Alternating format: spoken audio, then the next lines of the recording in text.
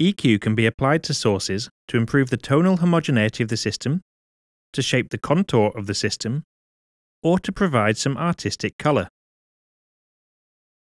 To do this, select a source and then select the Electronic Settings tab.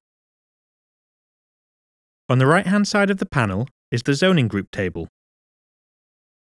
The enclosures are grouped together into one or more enclosures which are driven from the same amplified controller channels. This can be changed by modifying the number of enclosures in parallel. Different amplified controllers may allow a higher number of enclosures to be driven in parallel. By default, the source group is selected in the table, indicated by the black background on the source name. With the source group selected, the user can modify the filters in the EQ frame, and these filters will be applied to all enclosures in the source. These consist of LF contour and zoom factor to shape the contour. There are four FIR filters and eight IIR filters.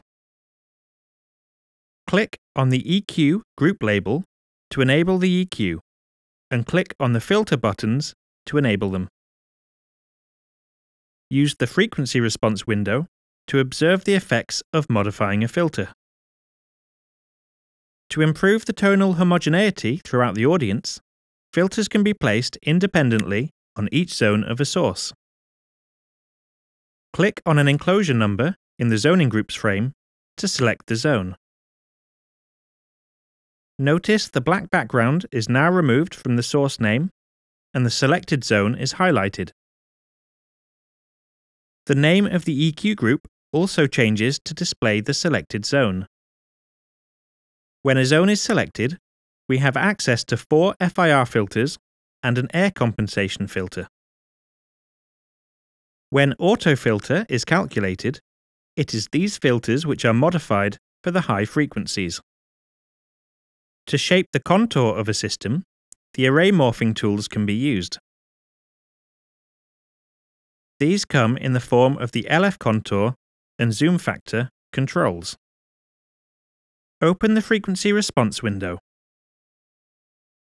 Note the solid black line with the dotted line to show the upper and lower boundaries. This represents the target contour that we would like our source to achieve. To modify this, open the Settings window. Under the contour target, we can choose a value for the upper and lower boundary guidelines. Set a pivot frequency for the contour. Set an SPL value above the reference to be targeted at 63 Hz. And finally, a high pass filter for the objective to match the capabilities of the system. With our objectives clearly set, select the source group, and then enable the zoom factor.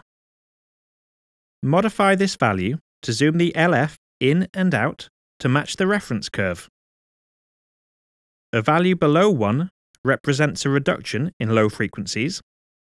A value above 1 represents an increase. Once this is set, enable the LF contour filter and select a frequency to adjust to match the objective. Enter a gain value to either boost or cut around this frequency.